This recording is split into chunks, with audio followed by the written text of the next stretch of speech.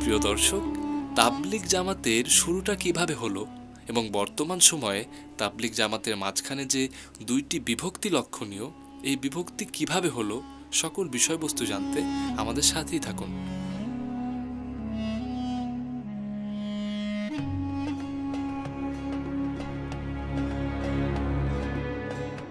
তাবলিক জামাতের উদ্ভবই হলো ধর্মীয় সংস্কারের মাধ্যমে। মৌলানা মোহাম্মদ ইলিয়াস কান্দলবি রহমতুল্লাহ আলাহের প্রচেষ্টায় বিংশ শতকের বিশ দশকের কোনো এক সময় তাবলিক জামাতের যাত্রা শুরু হয় ভারতের দিল্লির মেওয়াত এলাকায়। বিভিন্ন লেখায় জানা যায়, সেই সময় দিল্লির মেওয়াত এলাকার মুসলিম সমাজের অনেকেই ইসলামের প্রকৃত শিক্ষা থেকে দূরে সরে আসে। এমনকি তাদের জীবনাচরণের মধ্যে ধর্মীয় চর্চা নেই বললেই চলে। এমন একটি পরিস্থিতির মধ্যে মাওলানা মোহাম্মদ ইলিয়াস কান্দলবী রহমতুল্লাহি আলাহের এসব মুসলিমকে ইসলামের চর্চার মধ্যে ফিরিয়ে নিয়ে আসার প্রচেষ্টার মাধ্যমেই তাবলিকের জন্ম হয়। মৌলানা মোহাম্মদ ইলিয়াস কান্দলবী রহমতুল্লাহ আলাহের এই সময়কালের কথা যদি আমরা গভীরভাবে পর্যবেক্ষণ করি, দেখতে পাবো যে সে সময় তাবলিক নামক ধারণার উপস্থাপনও ছিল ইসলামের মধ্যে এক ধরনের সংস্কার নিয়ে আসা। যা মোটেও মাওলানা ইলিয়াস কান্দলবির জন্য একটি সহজ কাজ ছিল না। তাই তার সম্পূর্ণ প্রচেষ্টাই ছিল সেই সময়ের ইসলাম ধর্মের জন্য এক ধরনের সংস্কার। প্রায় একশো বছরের পুরনো তাবলিকের চর্চার মধ্যে তেমন কোনো সংস্কার প্রচেষ্টা আমরা লক্ষ্য করিনি বিগত বছরগুলোতে। আমরা যদি বিশ্ব ইস্তেমার কথা বিবেচনা করি, তাহলে বিভিন্ন লেখায় দেখতে পাই, তাবলিক জামাতে শুরুর পরের দশক থেকেই বার্ষিক ইস্তেমা আয়োজিত হয়। উনিশশো ছেষট্টি সাল থেকে ইস্তেমা টঙ্গীর তুরাক নদের তীরে আয়োজিত হয়ে আসছে মানুষের ক্রমাগত আগ্রহের কারণে। তখন থেকেই রাষ্ট্রীয় পৃষ্ঠপোষকতা পাচ্ছে এই আয়োজন। স্বাধীনতার পরপরই প্রায় একশো ষাট একর জমি বরাদ্দ দেওয়া হয় তাবলিক জামাতের ইস্তেমা আয়োজন করার জন্য।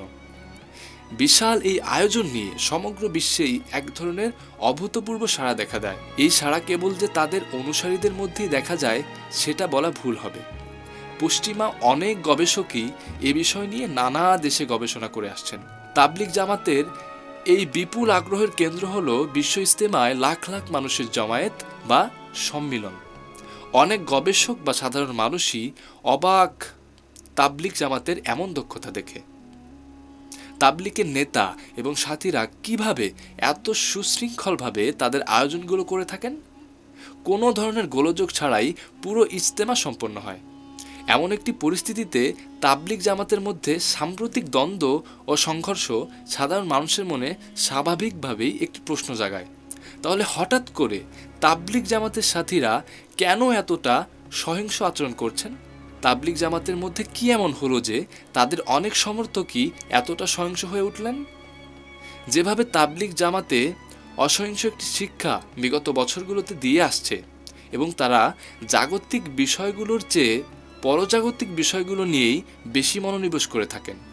ইস্তেমায় ঢোকার মুখেই শোনা যেত, যার যার ডানে চলি, জিকিরের সঙ্গে চলি, কিংবা কাউকে কাউকে বলতে শোনা যেত, আপনি আগে যান, আমি আপনার পরে যাব।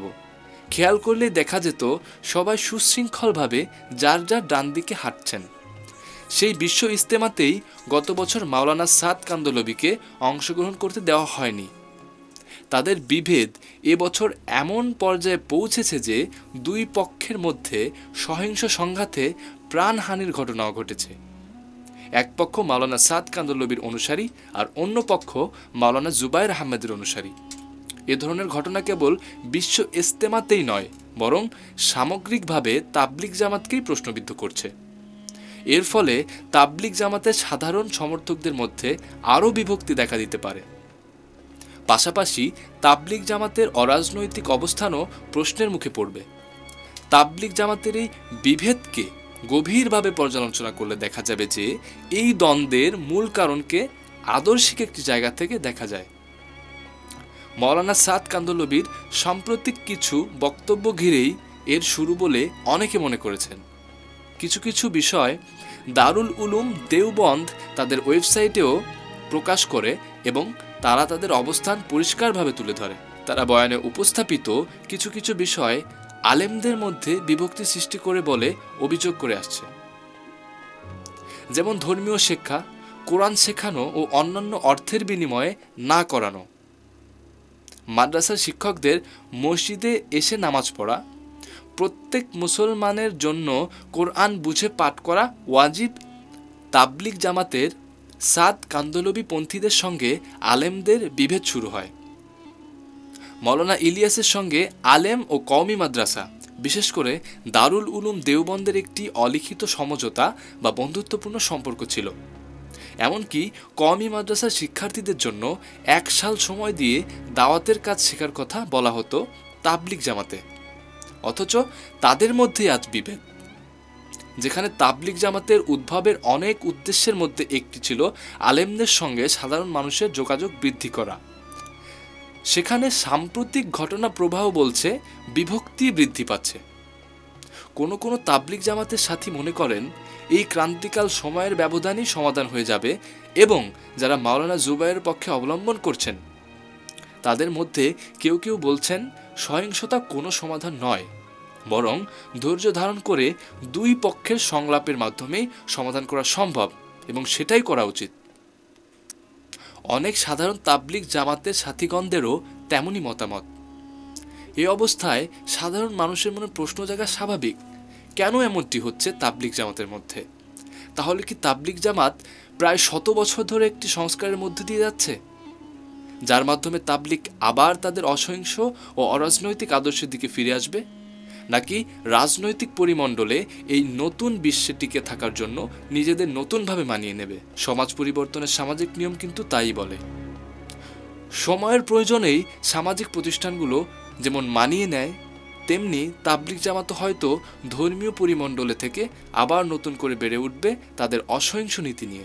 ইস্তেমাও আবার বিশ্ব ইস্তেমা হিসেবে সাধারণ মানুষকে তাদের সম্মিলন স্থলে আহ্বান করবে।